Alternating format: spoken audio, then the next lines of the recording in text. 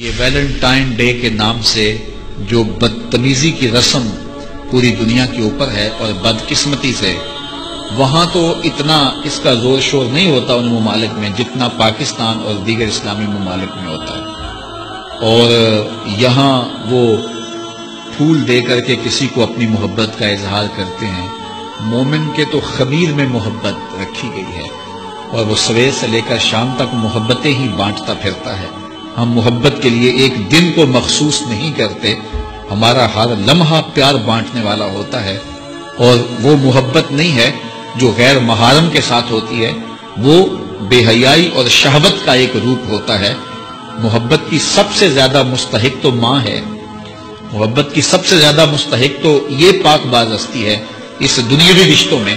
اور پھر باپ ہے تمہارا، اور تمہارے عزت و اقربا ہیں، تمہارے بچے ہیں، اور ہم سویر سے لے کر شام تک محبت ہی بانٹتے رہتے ہیں۔ پتہ نہیں لوگ ایک پھول سے اپنی محبت کا اظہار کرتے ہیں۔ سویرے مزدور مزدوری پہ جاتا ہے اور بڑھاپے کے باوجود وہ شام تک جو ہے وہ اپنے کمزور کندھوں پر اور کمزور وجود پر جو ہے وہ بوریاں اٹھا اٹھا کر کے شام تک مزدوری کرتا ہے اور شام کو جب وہ واپس آتا ہے تو وہ دوپہر کا کھانا بھی تھوڑا کھاتا ہے کہ میرے پیسے بچ جائیں اور بعض کا وہ پیدل چل کے آتا ہے تو کیا اپنی اولاد کے ساتھ محبت کا ثبوت اس سے بڑھ کر بھی کوئی چاہیے؟ تو یہ تو محبت ہی ہے، اسلام تو محبت دیتا ہے، لیکن یہ ویلنٹائن ڈے کے نام سے بدتمیزی اور بھیا باختگی کا ایک پروگرام ہے۔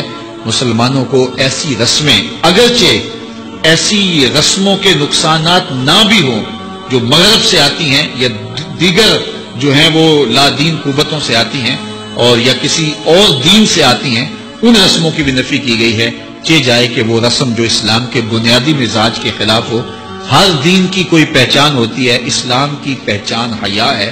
اور اگر آپ مجھے پوچھیں کہ اسلام کا دوسرا نام کیا ہے، تو میں کہوں گا اسلام کا دوسرا نام دین حیا ہے۔ تو ہمیں تو اس کا سبق دیا گیا ہے، تو ہمیں اپنے بچوں کو بھی اور اپنے ملنے والوں کو بھی سختی سے نفرت کے ساتھ اس کی نفی کرنی چاہیے۔